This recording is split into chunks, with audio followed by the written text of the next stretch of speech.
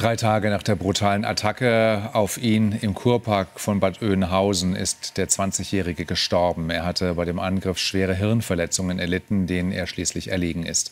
Das teilten Polizei und Staatsanwaltschaft mit. Die Beamten ermitteln nun wegen Totschlags in Tateinheit mit gefährlicher Körperverletzung.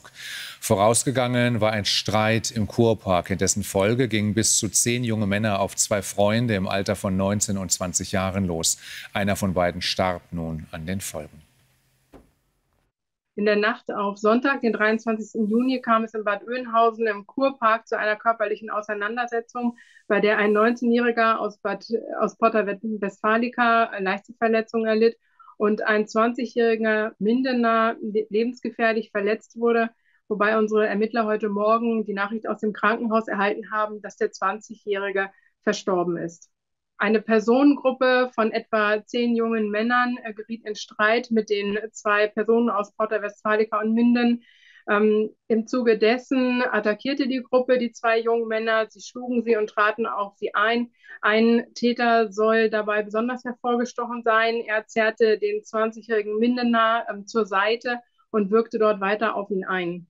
Der Mindener erlitt äh, schwere Kopfverletzungen. Bereits in der Nacht war klar, dass diese Verletzungen lebensgefährlich sind und äh, mittlerweile ist der 20-Jährige auch verstorben.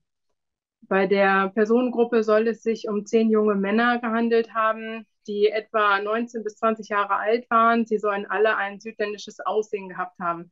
Teilweise waren sie mit Trainingsanzügen der Marke Adidas bekleidet. Der Haupttäter, der den 20-Jährigen noch weitere Verletzungen zugefügt hatte, der wird beschrieben als etwa 20 Jahre alt, circa 1,76 Meter groß. Er soll einen Kinnbart äh, bzw. Oberlippenbart gehabt haben und ebenfalls ein südländisches Aussehen. Außerdem kann man sagen, dass wir schon jetzt äh, einige Erkenntnisse über die Täter erlangt haben und wir sind auch guter Dinge, dass weitere hinzukommen werden, weitere Zeugenhinweise, Daher an dieser Stelle auch der dringende Appell an die Tatverdächtigen, sich jetzt zu diesem Zeitpunkt freiwillig zu stellen.